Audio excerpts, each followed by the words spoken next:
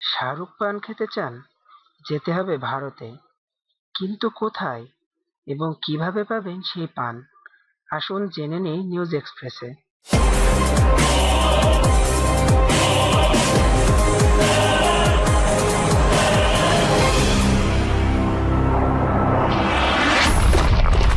সত্তর বছরের পুরনো পানের দোকান তম্বুলামে পাওয়া যাচ্ছে এই বিশেষ পান।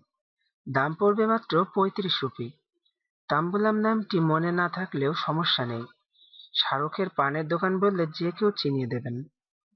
যা ভ্যারিমেট সেজেল ছবির প্রচারণার জন্য শাহরুখ খান, অনুষ্কা শর্মা ও ছবির পরিচালক ইমতিয়াজ আলী গিয়েছিলেন বেনারসে। বেনারসে গিয়ে শাহরুখের ইচ্ছা হলো তাম্বুলামের পান খাবেন। মালিক সতীশ কুমার শাহরুখের জন্য নিজ হাতে বানালেন মিঠা পান।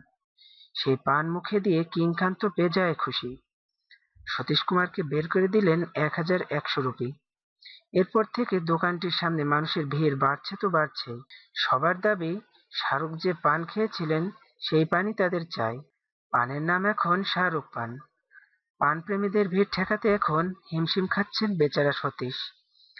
শাহরুখ অনুষ্কার নতুন ছবি যা হ্যারি মেট সেজল মুক্তি পাবে আজ শুক্রবার। ছবিতে শাহরুখকে দেখা যাবে পাঞ্জাবি যুবকের চরিত্রে। আর অনুষ্কাকে একটি গুজরাটের যুবতী হিসেবে দেখা যাবে।